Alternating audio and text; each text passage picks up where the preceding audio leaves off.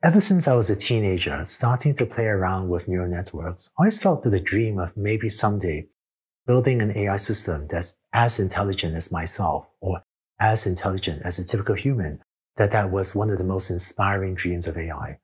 I still hold that dream alive today, but I think that the path to get there is not clear and could be very difficult.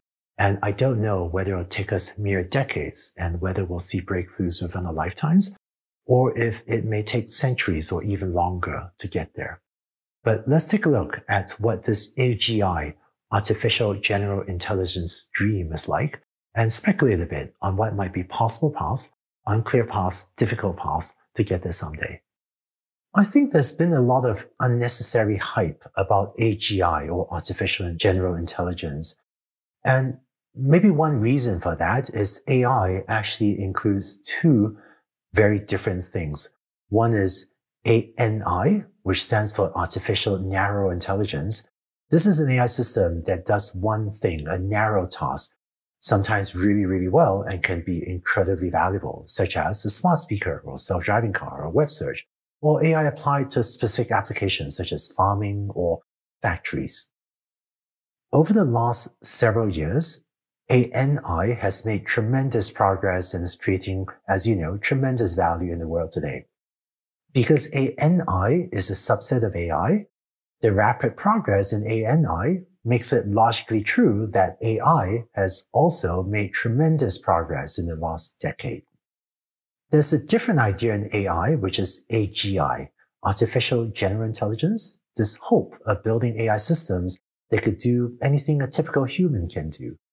And despite all the progress in ANI and therefore tremendous progress in AI, I'm not sure how much progress, if any, we're really making toward AGI.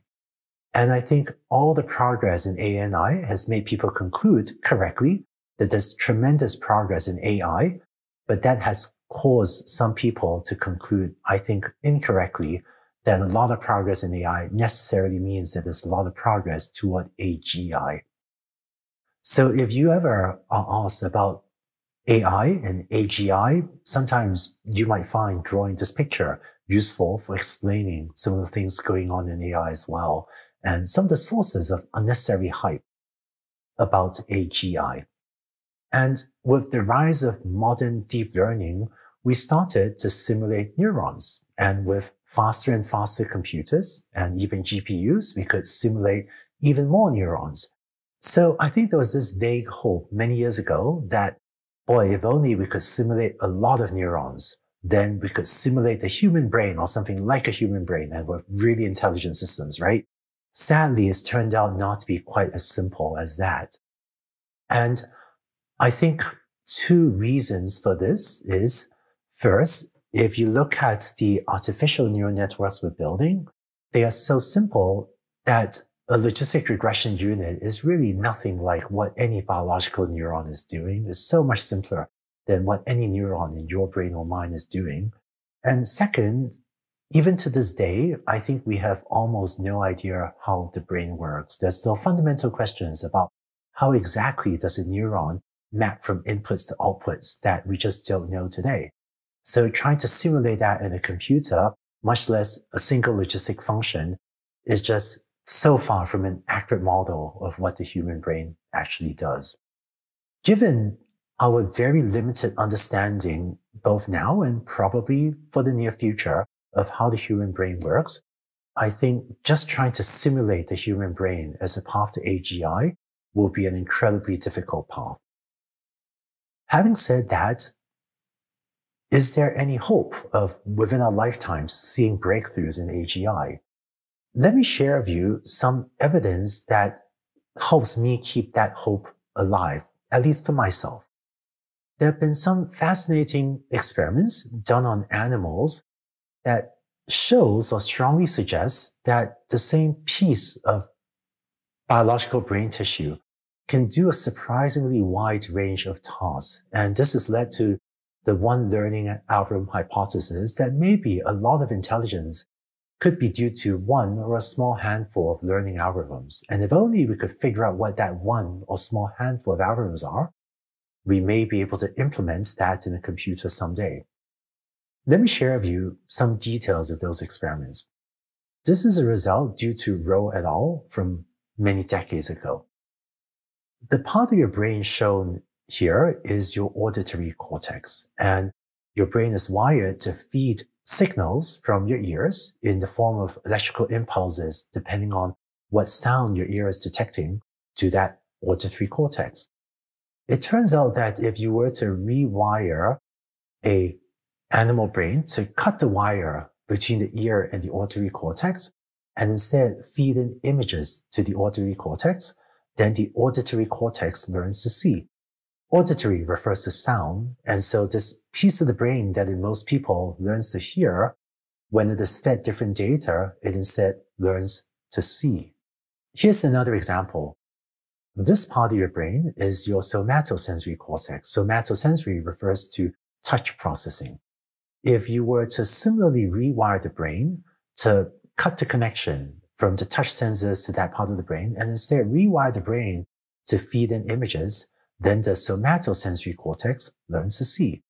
So there's been a sequence of experiments like this showing that many different parts of the brain, just depending on what data it is given, can learn to see or learn to feel or learn to hear as if there was one, maybe one algorithm that just depending on what data it is given, learns to process that input accordingly.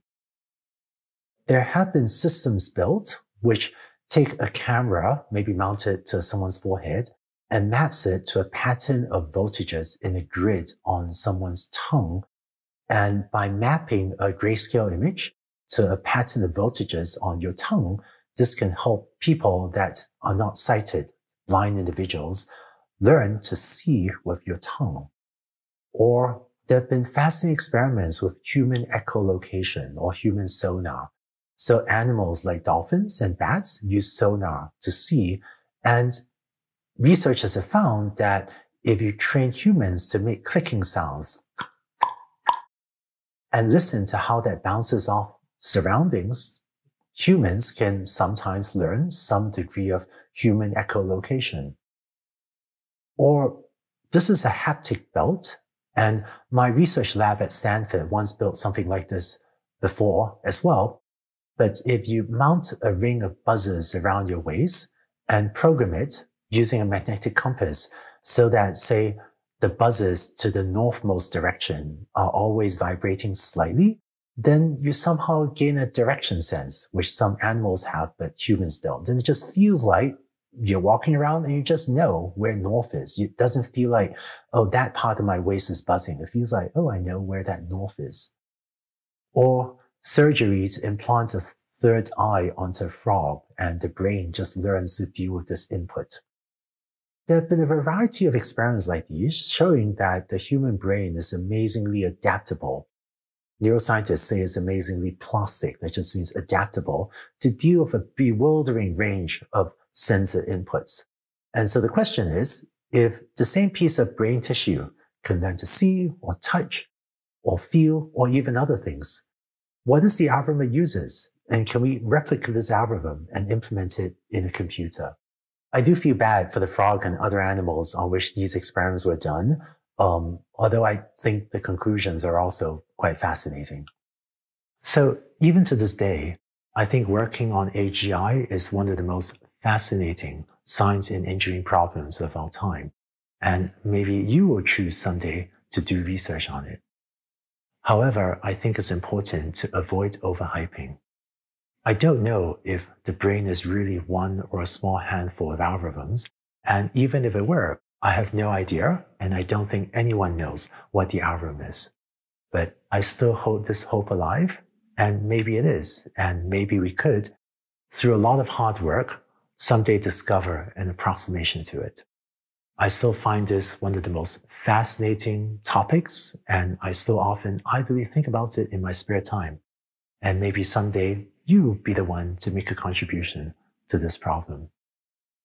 So in the short term, I think even without pursuing AGI, machine learning and neural networks are a very powerful tool.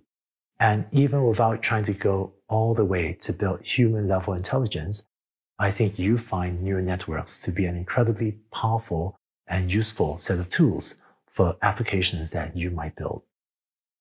And so that's it for the required videos of this week. Congratulations on getting to this point in the lessons.